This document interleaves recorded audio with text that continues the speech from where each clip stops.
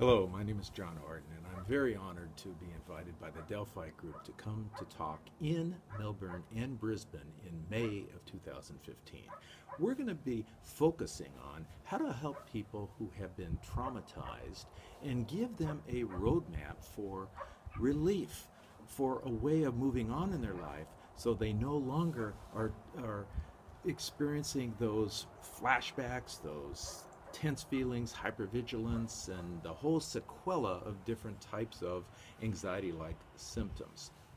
To do so, we're going to cover a lot of brain based concepts. And these brain based concepts can actually be explained to them uh, by giving them a sense of a user's manual for their own brain we're going to talk about neuroplasticity. We don't necessarily need to use the word neuroplasticity with them. We can actually talk about rewiring the brain. Now, to rewire the brain, we need to help them understand that it's not all about achieving a sense of comfort. And in fact, the way out of the jam, the way out of the rut, requires a certain amount of discomfort. To rewire the brain, they need to be a little edgy. I'm going to explain how neuroplasticity actually occurs. One very unfortunate experience that occurs with many people who have experienced chronic stress, chronic depression, and trauma is the reduction in the size of the hippocampus. This is this area of the brain that lays down explicit memories.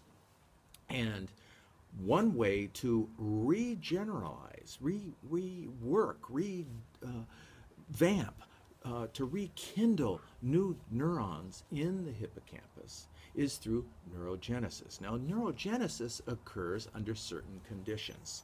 There's this wonderful protein that's available to us all called brain derived neurotrophic factor, but we can refer to it as Miracle-Gro that is released in our brain under certain conditions. For example, one of those very powerful conditions is aerobic exercise and good diet and then cognitive exercise thereafter. We're going to talk about the whole sequence of rewiring the brain and neurogenesis and what needs to be done so that these areas of the brain can revitalize. Another area that we're going to talk about is referred to in the neuroscience literature as affect asymmetry, but we can explain it by talking about there being two halves of the brains, two hemispheres, and two front sides of the brain. We call them prefrontal cortexes, and how they differ in terms of how they manage emotion. For example, we know that people that have been traumatized and or are experiencing a great degree of anxiety and depression are hyperactive on the right prefrontal cortex and underactive on the left prefrontal cortex. Well, you may think, well, geez, okay, it's interesting to know that, but what do I do about it? Well, one way to get the right prefrontal cortex even more overactive is to withdraw or avoid what makes you anxious. Now, what happens with people who have been anxious. They tend to avoid what makes them anxious even more. You know, what that does is make their right prefrontal cortex even more overactive. So, what we need to do is balance out the activity of their two sides of the brain. What the left side does is approach behaviors, it's also associated with positive emotion. So, what's approach behaviors? It's actually stepping into a productive behavioral pattern incrementally.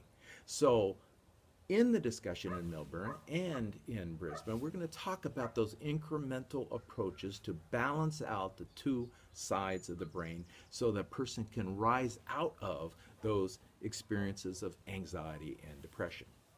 Another area that we're going to talk about is the tendency of all of us to spend roughly about 30% of our time outside of where we are. In other words, we spend 30% of our time daydreaming or ruminating, and it turns out that this could, on one hand, be a very great source of creativity, a way of integrating a lot of what we've conceptualized. On the other hand, people that have been traumatized and or depressed have a tendency to be ruminative in their default mode network, to spend a whole lot of time thinking about and stewing in what has happened to them in the past. So we're going to talk about how to use that default mode network in a much more creative and productive way. Another very important area that needs to be addressed is what a person eats.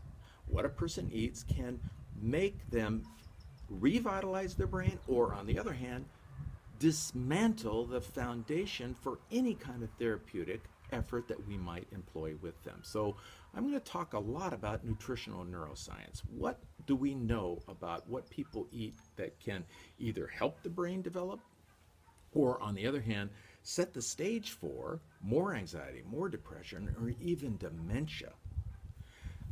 Another area that we're going to talk about that I'm incredibly excited about is an area called psychoneuroimmunology. That's the interface between the mind, the brain, and the immune system. It turns out that many people that have had uncomfortable, adversive experiences early in life or throughout life have a tendency to develop chronic disease patterns. Some of them include inflammation. So we're going to talk a lot about inflammation and the, the, role of chronic disease patterns and how we can help people get healthier because it's really about mind, body, brain, spirit, and that integrated model that's going to help people move ahead.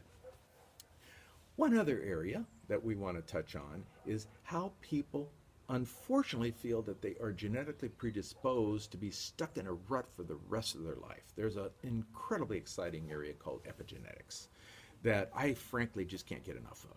And this is all about whether or not we turn on or turn off genes that might make us susceptible to develop either depression, anxiety, and so on.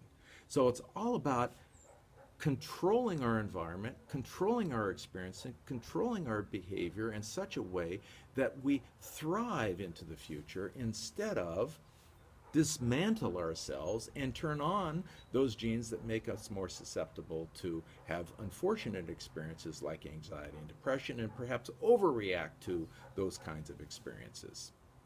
So I'm very much looking forward to coming to Melbourne and Brisbane, and I'm looking forward to seeing you there.